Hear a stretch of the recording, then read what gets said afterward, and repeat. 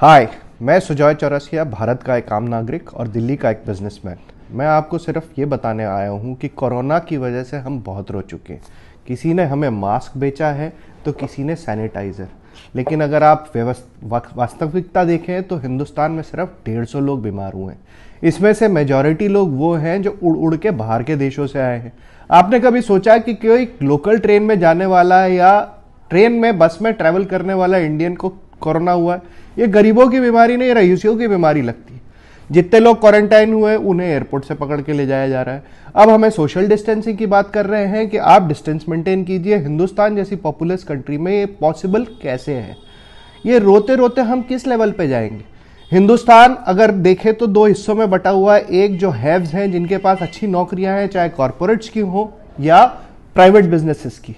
इन लोगों की सैलरी आएगी, इन लोगों को घर में बैठे पैसा मिलेगा, चाहे ये ऑफ़िस जाए या ना जाए। लेकिन एक कॉमन बिजनेसमैन क्या घर में बैठ के धंधा कर सकता है? आप बताइए, अगर आप एक कॉमन बिजनेसमैन हो और आपका एवरेज टर्नओवर एक से पाँच करोड़ का है, क्या आप घर में बैठ के वही कमाई कर सकते हो? या आप अलाउ कर सकते हो अपने वर्कर्स को घर से बैठ के काम करने के लिए, अगर आपका बिज़नेस मैन्युफैक्चरिंग का है? ये हर बिजनेसमैन के लिए सोचने की बात है कि कोरोना वायरस के आने के बाद की दुनिया कैसी रहेगी।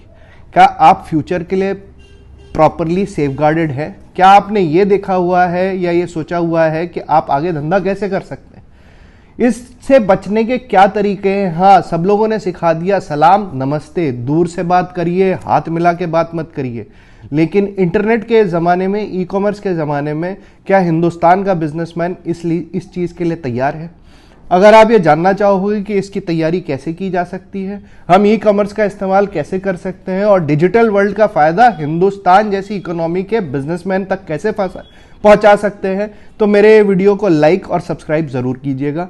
आगे मैं आपको ये बताने वाला हूँ कि ई कॉमर्स के क्या क्या कमाने के तरीके हैं और बिज़नेस चाहे आपका ऑनलाइन हो या ऑफलाइन आप इसे आगे अपने बिज़नेस को इम्प्रूव करने के लिए कैसे इस्तेमाल कर सकते हैं। नमस्कार थैंक यू शुक्रिया।